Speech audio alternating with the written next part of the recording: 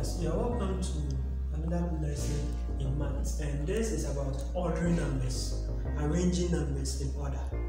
When you are, when you are, when you are told to arrange numbers, there are two main ways you can do that. That is ascending order and descending order. Now today are going to take ascending order and ascending order deals with numbers or things moving from small to big, small to big. It's like it's, it's like age from 0, 1, 2, 3, 4. And the same way it's like numbering your numbering the, uh, the things in, in the numbering the things in the size You number from 1, 2, 3, 4. So the more you go, the bigger it becomes. It's that's an ascending order of arrangement. Now, those of you who like reading the Bible, you notice that there's part of the Bible that says Jesus ascended into heaven. So he was on earth and he went up. So ascending means from down to the top or from the smallest to the biggest. Okay. So now we have a set of numbers over here. We have 6, 3, and 8. 6, 3, and 8. Now, among these numbers, which one is the smallest? You agree with me that 3 is the smallest. So write 3 first. The next smallest, the next smaller one is 6. Then the next number left is 8. So we arranging numbers in ascending order, begin with the smallest, that is 3, 6, 8. Now let's move on to the next number.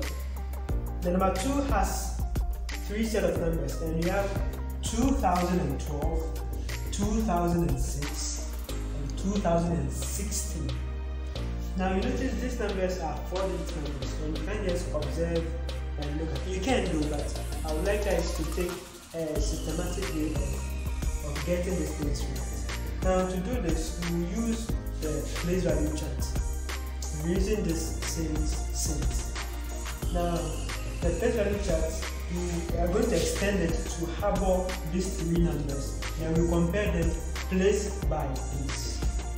Okay, let's write in the first number. This is 2012. So 2, 1, 0, 2. Then the next number is 6, 0, 0, 2. The next number is 6, 1, 0, 2.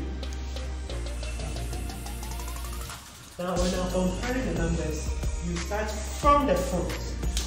So you notice that the first set you have two two two two. I mean they are all same the next set zero zero zero they are all the same. The next set you notice that some are one and the other one is two. Oh, sorry the other one is zero. So zero and one. So with this zero is smaller than one. It's smaller than one. So it means that the one which is smaller which is this is what you are going to it means you are going to write this the second number first because that number has proved itself to be smaller. So that number is 2006 2006 now let's continue for the rest. Now they both have one one. And move on to the next side.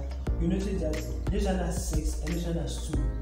So two is uh, smaller. One so it means the first one will be the the first one will be the next one to write. So it means 2012 will be the next number to write. So after you've written this, then move on to the uh, to the last one which is 2016. So it means that 2012, 2006, 2016, when you you write them together and you are looking at the smallest one notice that 2006 is the smallest. The next number is 2012, then 2016. It's very, very simple, isn't? So you are going to do same with the exercise I'm going to leave down here, down Thank you very much.